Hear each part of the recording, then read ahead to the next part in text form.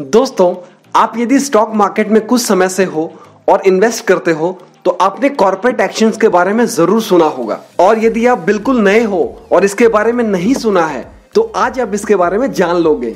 नमस्ते दोस्तों investing minds के एक और नए वीडियो के साथ हम हाजिर हैं और आज हम समझेंगे एक कंपनी के कॉर्पोरेट एक्शन को। ये क्या होते हैं, इसे क्यों लिया जाता है, और साथ ही जानेंगे one of the major corporate actions dividends के बारे में।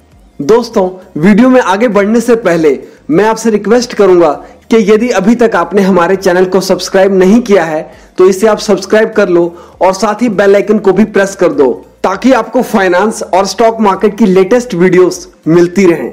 तो बिना किसी डिले के, आइए वीडियो की शुरुआत करते हैं। कॉर्पोरेट एक्शन ऐसे इनिशिएटिव्स होते हैं, जो एक लिस्टेड कंपनी लेती है और ये स्टॉक होल्डर्स को डायरेक्टली या इनडायरेक्टली इफ़ेक्ट करती है। आपकी यदि कॉर्पोरेट एक्शंस की समझ अच्छी है तो आप कंपनी की फाइनेंशियल कंडीशन को बहुत अच्छे से जान पाओगे, जो आपको ये डिसीज़न लेने में मदद करेगा कि आपको उस कंपनी में इन्वेस्ट करना चाहिए या नहीं। कुछ मेजर कॉर्पोरेट एक्शंस हैं। Dividends bonus issue right issue stock split buyback of shares जिनके बारे में हम अगले वीडियोस में जानेंगे। पर आज हम जानेंगे सबसे इंपॉर्टेंट कॉर्पोरेट एक्शन डिविडेंड को। तो आइए इसे जानते हैं। डिविडेंड का हिंदी में मतलब होता है लाभांश, यानी कि प्रॉफिट का एक हिस्सा। तो जैसे कि नाम ही सजेस्ट कर रहा है कि जब किसी कंपनी को प्रॉफिट होता है तो वो अपने शेयर होल्डर्स को उस प्रॉफिट का एक हिस्सा देना चाहती है तो वो डिविडेंड के थ्रू देती है। डिविडेंड्स को कैसे बांटा जाता है, ये भी बहुत मज़ेदार है।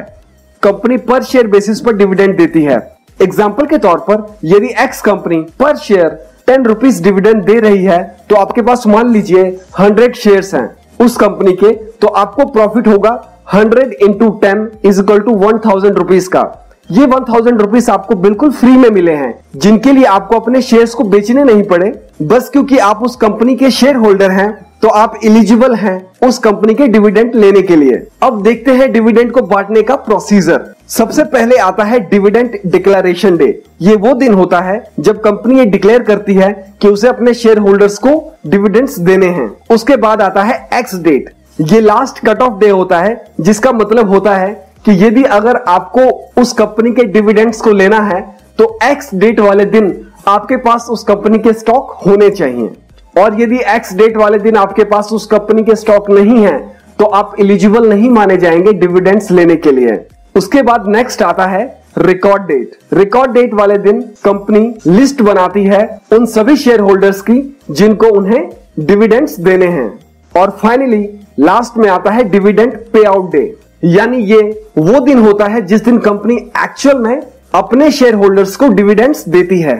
तो ये था प्रोसीजर कि एक कंपनी कैसे डिविडेंड्स अपने शेयर होल्डर्स को देती है. अब यहाँ पे मैं आपको एक बात बताता चलूँ कि डिविडेंड्स देना कंपनी के लिए ऑब्लिगेशन नहीं है। वो चाहे तो अपने प्रॉफिट में से आपको डिविडेंड ना दे करके उस प्रॉफिट को आगे री इन्वेस्ट भी कर सकती है। बट मेजर रीजन होता है डिविडेंड देने का कि ये कंपनी के फाइनेंशियल डिसिप्लिन को दिखाती है। और साथ ही ये इन्वेस्टर्स को भी अट्रैक्ट करती है। तो ये था सब कुछ डिविडेंड्स के बारे में।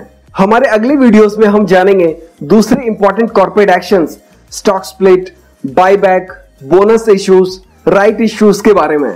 मैं उम्मीद करता हूँ कि आपको ये वीडियो पसंद आई होगी। यदि हाँ तो इस वीडियो को लाइक ज़रूर कीजिए और साथ ही हमारे चैनल को सब्सक्राइब भी कीजिए सो so दैट आप हमारे आने वाली कोई भी वीडियो मिस ना कर सको। आपके मन में इस वीडियो से लेकर के कोई भी डाउट है तो आप इसे कमेंट बॉक्स में ज़रूर लिखिए, हम उसका जवाब देंगे। आपने अभी तक यदि कोई ट्रेडिंग या डिमेट अकाउंट ओपन नहीं कराया है तो हमने एक बेस्ट ब्रोकरेज कंपनी का लिंक डिस्क्रिप्शन बॉक्स में डाल दिया है, जिनके ब्रोकरेज चार्जेस बहुत ही कम हैं। और इक्विटी डिलीवरी में इन्वेस्टमेंट बिल्कुल फ्री है।